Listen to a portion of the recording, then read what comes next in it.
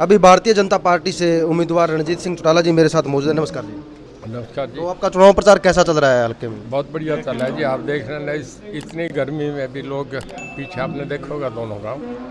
बहुत बड़ी संख्या में खेत में भी काम है फिर भी लोग आ रहे हैं। बहुत अच्छा एक मोदी जी के लिए बड़ा उत्साह है।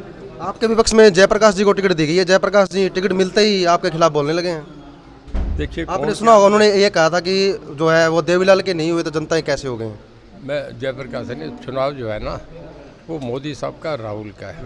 मैं कोई छोटे मोटे आदमी का नाम नहीं लेता क्या जयप्रकाश क्या ऐसे कितने कैंडिडेट लड़ रहे हैं। दुनिया देख रही है सबसे बड़ा अमेरिका के बाद हिंदुस्तान के चुनाव का प्रचार है। और मोदी साहब का वर्सेस राहुल गांधी का चुनाव है। अब मोदी साहब के कैंडिडेट है बीजेपी का और कांग्रेस की फाइट है। किसको टिकट मिले नहीं मिले उसको पहले दिन तक तो उसको पता ही नहीं था नींद आएगी टिकट आएगी। मैं उस पर उलझना नहीं जा रहा मुद्दों की बात कर रहे हैं। बीजेपी का बहुत बड़ा है। दुनिया की पाँच इकोनमी में एक है 211 में। वर्ल्ड की चार जो आर्मी बेस सबसे बड़े उनमें इंडिया एक है। और यूक्रेन में जाके जो वार को रोकने का काम करा तीन दिन तक चीज़ फायर कराया उसमें नरेंद्र मोदी है।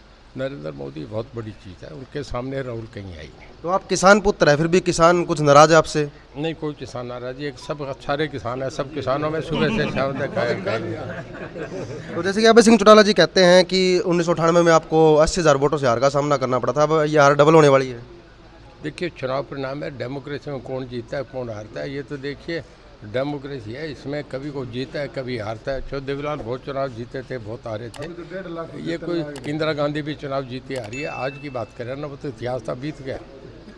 तो जैसे भाजपा की क्या नीतियाँ रहने वाली है? अगर आप यहाँ से सांसद बनते हैं जीतते हैं तो हल्के के लिए आप क्या करने वाले हैं? सबसे बड़ा तो एयरपोर्ट आ रहा है जो वर्ल्ड का सबसे बड़ा है बेहतर सौ एकड़ का। थर्मल यहाँ है आगे फिर यहाँ डेवलपमेंट होगी। हिसार तो दिल्ली के बाद सबसे बड़ा स्टेशन बनेगा नॉर्दर्न इंडिया का। तो जैसे कि आम जनता से आप कल की रैली कुलदीप बिश्नोई भी थोड़े नाराज़ से आपसे।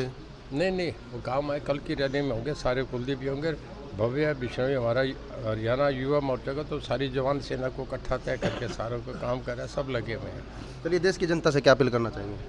कि मोदी साहब के हाथ मज़बूत करें जो उनका दो सौ सैंतालीस का जो एक है भारत मज़बूत देश बने। और जो मोदी जी की गारंटी है, उसके लिए मोहर लगाया ठीक है जी, धन्यवाद जी। ये थे अभी हमारे साथ भाजपा प्रत्याशी रणजीत सिंह चौटाला जी, जिन्होंने जो विपक्ष से कुछ सवाल थे, उन सवालों के जो है जवाब उन्होंने दिए। इसके बारे में आपके क्या विचार है, आप कमेंट कर सकते हैं। बने रहिएगा एच पी ट्वेंटी न्यूज़ के साथ लाइक शेयर कीजिएगा। जय हिंद साथियों।